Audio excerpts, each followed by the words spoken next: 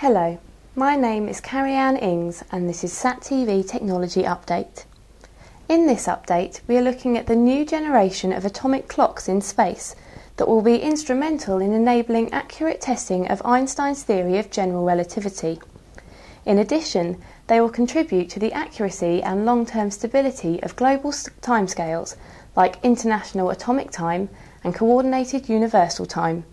They will also support applications involving remote sensing via the GNSS network. The French Space Agency, CNES, and ESA recently signed an agreement that paves the way for the launch of a high accuracy atomic clock to be attached to the outside of the European Columbus Laboratory on board the ISS. The PHARAO atomic clock will be combined with another atomic clock, the Space Hydrogen Maser, SHM, to form ESA's Atomic Clock Ensemble in Space, ACES, which will have an accuracy of 1 times 10 to the minus 16, corresponding to a time error of about 1 second over 300 million years. The ACES onboard timescale is a result of the excellent short-term stability of the Space Hydrogen Maser and the long-term stability and accuracy of the PHARAO Cesium atomic clock. A dedicated microwave link sends the ACES timing signal to the ground, allowing space-to-ground comparisons of clocks.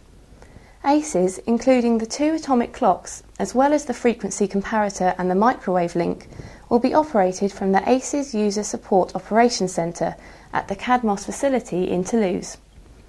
Operations make use of the existing European ISS ground network, including the Columbus Control Centre and a special network of microwave terminals which are linked to the most stable and accurate atomic clocks on the ground.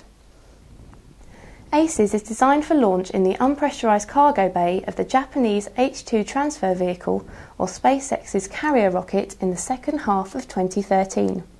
Once in orbit, ACES will be attached to Columbus's Earth-facing external payload platform using the Station Robotic Arm. ESA is bartering the launch costs of ACES and four other external payloads against the supply of the Cupola Observation Dome to NASA. Cupola is slated for launch in February 2010, along with Node 3, another habitable ISS element built in Europe.